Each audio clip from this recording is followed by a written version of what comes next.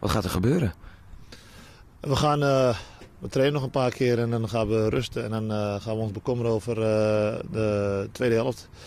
En zoals het er nu uitziet, dan moeten we toch wel gaan winkelen ergens.